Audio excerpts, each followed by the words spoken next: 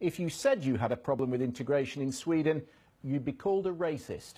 Well, that's not true. But when we compare Sweden to most other countries, we have a low level of crimes.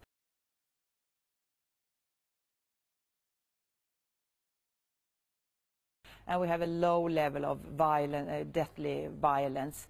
And we have quite a strong society and, and we are quite well equipped, I should say, to, to handle also those challenges that we are facing. Challenges here means problems created by the politicians themselves. Problem that are so huge that they are probably almost impossible to fix. And the politicians knows that. Challenges is only new speak, nothing else.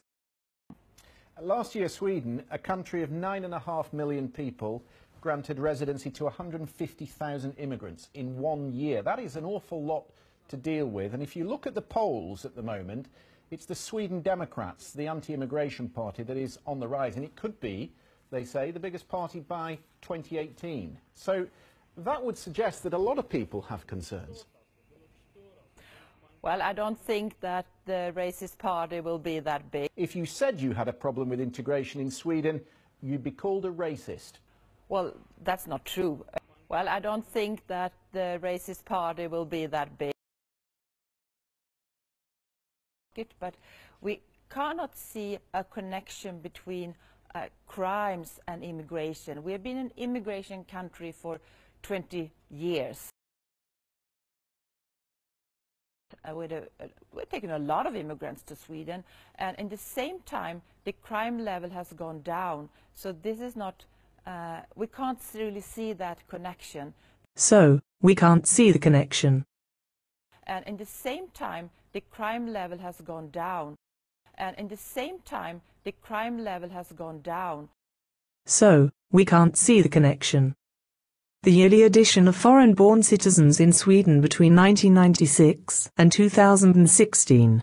Almost everyone from countries that we know are highly overrepresented in violent crimes compared to Swedes. The total numbers for these years are approximately 850,000 and at least 600,000 of them are males. The crime rate, particularly around sexual crimes, has risen in the capital. Well, there is, uh, he's not, uh, I should say that he's not really know what he's talking about.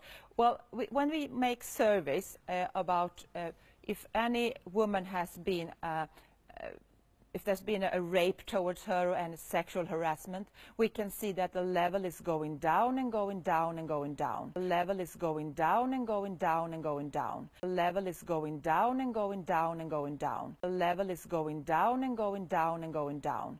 But we encourage women uh, to uh, actually report to the police and we have also broadened the scope of what we uh, define as a rape because we would like every woman, because every rape is one rape too much, we will encourage every woman to report to the police so we have a high level of reporting to the police. We don't know anything about the willingness to report. We don't know if it's going up or down. We don't know if it's high or low. This is from NTU the yearly survey from BRA, and the underlined row is how many percent of the sex crimes that has been reported, based on the question if you have been a victim of a sex crime and if you have reported it. What can you say about the figures? High? Low? Increasing? Decreasing? The answer is you probably can't say anything. If you have to say something it would be that the willingness to report is going down, at least the last four years. And it's good that they report, and of course it's bad if rape is committed. But when we make surveys, uh, the actual level of rapes is not high in Sweden. The level is going down and going down and going down. The level is going down and going down and going down. The level is going down and going down and going down. The level is going down and going down and going down. The level is going down and going down and going down. The level is going down and going down and going down. The level is going down and going down and going down. The level is going down and going down and going down. The level is going down and going down and going down. And finally, Ylva Johansson admitted she was wrong about the levels going down and down and down. She said that it was wrong to use just one year. The truth. She took a chance, hoping that no one in Sweden would take notice and that no other would check the facts. Or should I say her alt facts?